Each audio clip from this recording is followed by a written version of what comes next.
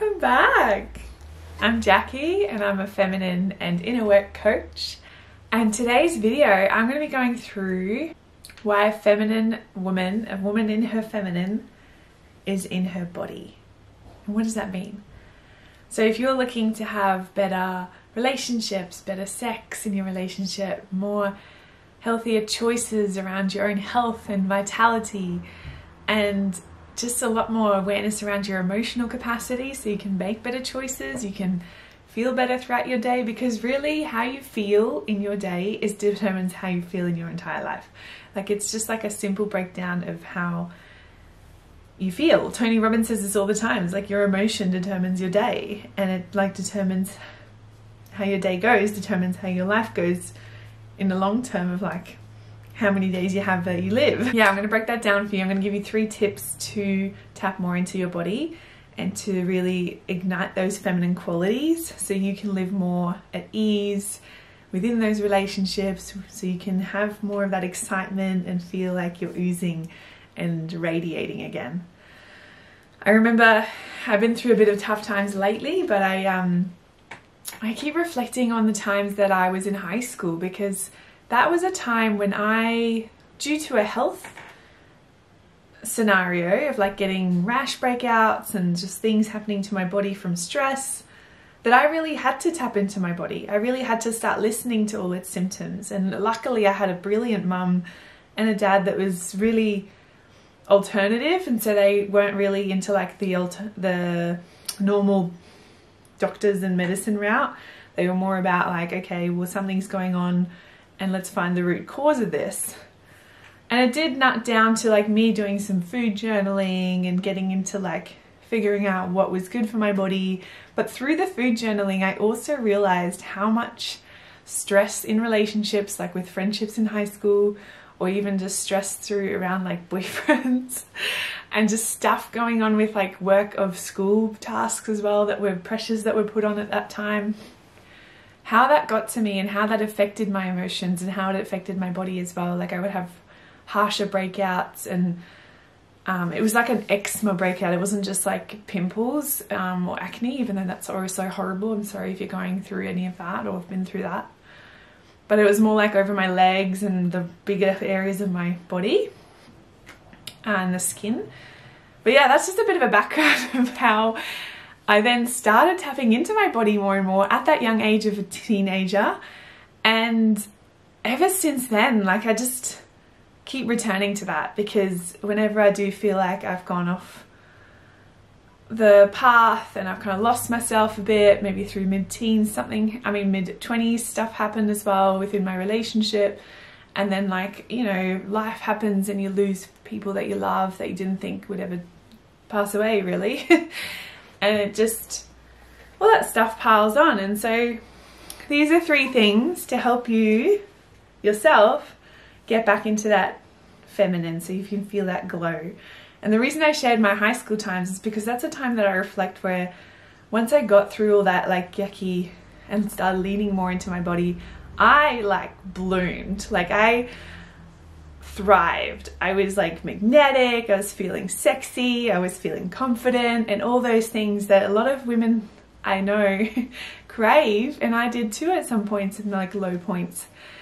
And being a, having been a photographer in portrait studios, so many women would say that in the studio. Like, I wish I was more confident, I wish I felt more sexy, and that's what they came there to feel and be and experience in front of the camera because you could show them that to them within a different light and be like, look, you are freaking amazing. Yeah, so the three tips I'm leaving you with today, and please leave any comments below if you have any coming up for you as I share these. Number one is removing distractions. So this is all about stripping back.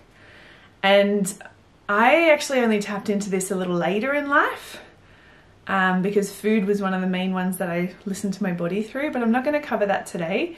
We'll do that in another video. So these are some extra tips to really just like stop and notice what's going on.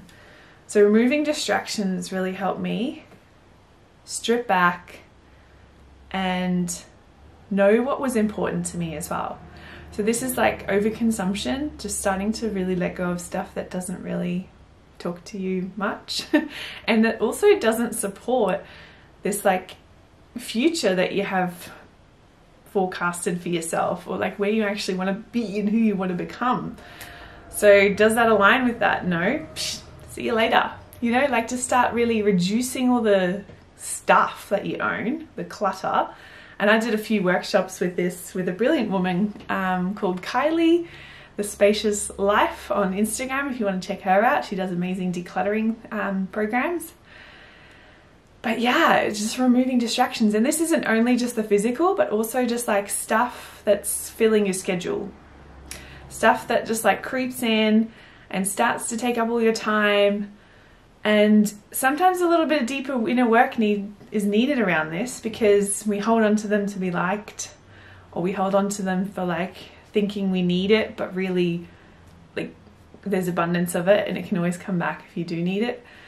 Um, one example is like, I love dressing up, so I would keep like all the different crazy outfits, and I was like, oh, I just need to let them go because when it's time to like have another dress up party, I'll just go out and source a new outfit anyway. so I was like, right, let it go. So yeah, removing distractions. And then that way, this brings me to number two, rest and silence.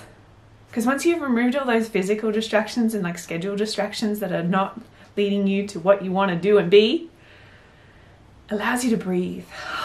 like you create more space in your calendar, in your home.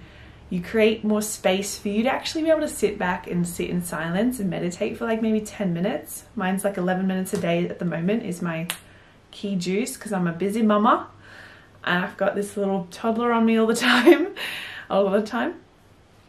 But yeah, so just carving out those few moments, even if it isn't meditating, even if it's just to like journal for yourself, or take a walk in nature on your own so you can nurture your connection to earth um, and just resting like taking a power nap.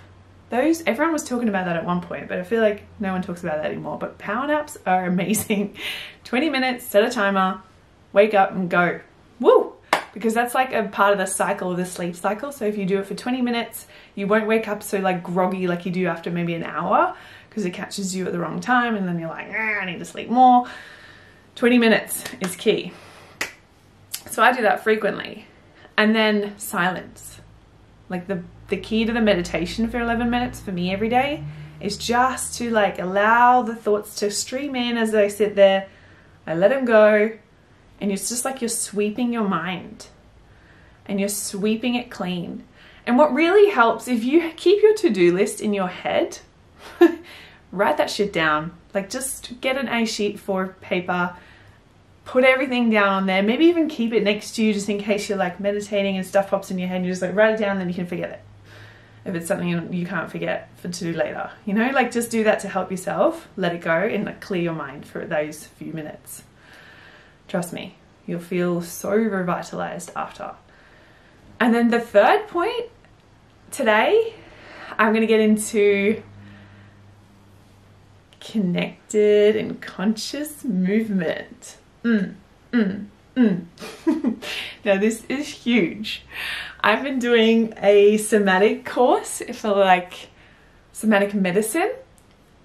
So I've dove into the um, entry course with Maya Knight. Check her out on Instagram, she's incredible. But just there was this one session that blew my mind, and I'm all about the erotic dancing and like eccentric and ecstatic dancing and getting all those like energies out of you and like letting it go. And I did like Kinergy for a while with Julia Howe, and that was also awesome and expressive because she combines imagination, your movement, and your breath, which are powerful tools to like shift your state. So if you haven't heard of that, shifting your state is based on your physiology, and Tony Robbins talks about this too. So shifting your state can be done by moving your body, so your physiology, which is mostly around like the posture and how you're breathing. So leaning back, you know, the superhero posture that you've heard about maybe when you're standing like straight out, hands wide, feet wide, strong for maybe 30 seconds and you feel more confident. Deep breathing. It's what you focus on mentally because that will also, like it's vice versa, how your body sits affects how you think and what you think affects how your posture comes through. So then what you're focusing on, so reframing whatever your situation is, getting through it, looking at it on the bright side, finding a solution. And then also the words you're using, so powerful. That's like the triangle that Tony Robbins teaches. The focus, the words and the language, and then the physiology of your actual body and movement. But back to this third point on connected movement. I want you to notice how you're walking through life. And if you can stay, like, think of that triangle to like shift your state. If you're maybe slouching, you're kind of getting tense in the shoulders, you're starting to doubt yourself in your dreams, you're scrolling, and you're just like, hang on a minute, where's my breath? How am I walking in this moment? Like, even if you're not physically walking step by step, how are you in that time, in that moment, walking through your life? You know, like in a um, what's the word? like a metaphor way of walking through life. But also notice how you're walking through life, like physically. I realized when I did this exercise that my shoulders were so tense and back. Like I thought I was like, yeah, I'm holding my my healthy posture. But then I'd be walking, like my hips would move, but my shoulders were just kind of like stationary, and it looks really funny if you actually like observe it. instead of allowing my shoulders to follow with the movement and be really organic and like a lot more feminine and like just getting the whole body in sync with itself. So like your feet lead and then you're like, oh, hi, there's the shoulder move. and realizing how good that feels as well as you move through. Oh, so good. If you want to go deeper with this, I'm going to be bringing out more um, like mini sessions you can download and also practices for these body movements. And there's a program coming up, so keep your eyes peeled. I'm going to jump in here and add in as well because when I stopped recording, I was like, ah, I forgot this big point on the last one. The reason I can see how powerful this body work is is because a lot of us are repressing our emotions. So there's reasons for that. So let's say you are doing your job at work and um, your boss says like, hey, can you get this done in the next hour? And you're just like, oh my goodness, I better have this other task to do as well. And then you you're kind of feeling a bit angry about it and like agitated, but you just kind of shut your lips because you're like, fine, I'll just get it done in those little moments of repressing your anger and holding it in and being calm and chill, those things can pile up. And if you're never actually expressing it, your body's remembering it. Your nervous system is storing it in your body, in your cells, in everything. Like every part of your muscles are holding that tension still in some way. So it's so important that we let that shit go. Like if you observe animals and animals are under stress and there's a bit of like adrenaline, they always shake it off right away. You'll watch your dog stand up and just go like several times a day. We don't do that. we should be doing that. Like we're, we're mammals too. We should be doing that. So this is why this is so powerful. Like you're shaking off all those extra little baggages emotions that pile up, but also even more importantly, if something bigger happened to you, whether you were in your childhood at the time, because that's when it's maybe more of a deeper trauma because you've forgotten it, you've put it away, you've pushed it away, you're not thinking about it anymore, but it's still there in your body, it's still sitting in your body somewhere. and these repressed emotions, yeah, they can block your energy flow.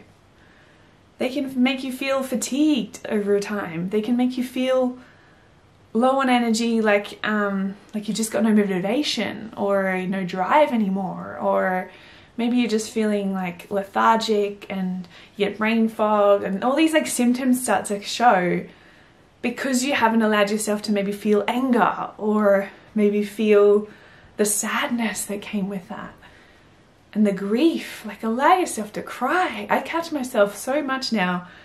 I get itchy eyes and i'm like oh shit. Like if it's not directly related to like maybe something has flown in my eye or like maybe there's a cat around because I still have a they get sensitive around cat hair like I'm like, okay, why my eyes suddenly itchy? Like, am I tired? What's going on? And then normally it's because I have to fucking cry. Like, I just need to let those tears flow. And it's hard to like do that on prompt, you know, but I'm just like, okay. So clearly I need to sit myself, sit with myself and just feel this. And then when it comes, you just instantly feel better because that's one way that your body naturally releases that. Ah comes out tears. Oh, beautiful. And this is why I'm so passionate about yoga as well and why I kind of dove into that in the first place. Because it's the first step of like opening up our body. Because when we have all those suppressed and repressed emotions, suppressed are the emotions that you're consciously pushing down, repressed are the ones that are subconsciously being pushed down, so you're not even realizing it, but it's happening. Okay, and it can start from being suppressed emotions, like you're consciously going, no, no, no, I shouldn't feel that now, I need to focus, to your subconscious is doing it for you, and you're just like, why do I feel this way? Why am I so like feeling stuck and, uh, and everything's so hard? You know? I feel you, I've been there. And I still slide into that sometimes, but I'm aware of it now. And I know how to get myself out of it. And I want you to have those tools too. So, yoga is one of the first steps that you can take to become more aware of your body's feelings and where you're tense, where you're tight.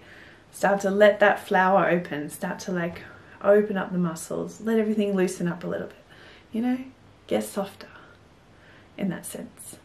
And then you like dive deeper and deeper and deeper with maybe some more inner work, some tapping, some other modalities, breath work that really, really help deepen and get those emotions to come out